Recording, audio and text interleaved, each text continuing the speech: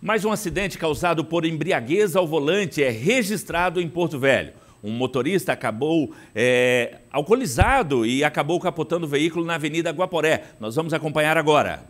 Talvez seja clichê falar que o excesso de álcool com a alta velocidade pode causar acidentes e até mesmo custar uma vida.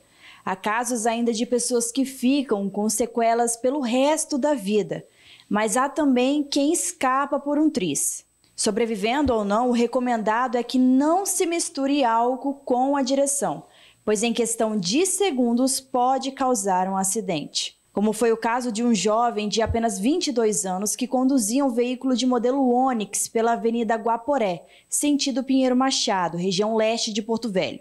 Horas antes, o mesmo havia ingerido bebida alcoólica e provavelmente estava voltando para casa quando, no cruzamento com a Avenida Amazonas, ao tentar se desviar de um motociclista, acabou perdendo o controle da direção e colidindo diretamente com o poste de controle de tráfego, que fica no canteiro central, e capotou. Apesar da gravidade do acidente, o motorista do veículo não se feriu.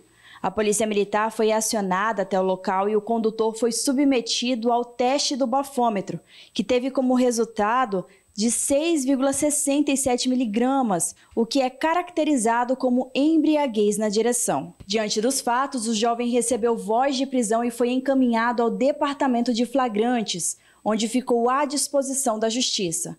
A pena prevista é detenção de 6 a 3 anos multa e suspensão ou proibição de se obter a permissão ou habilitação para dirigir o veículo automotor.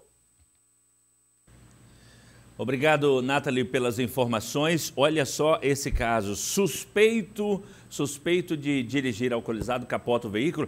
E olha que coisa, capotou o veículo de frente ao 5 Batalhão ali é, de Polícia Militar.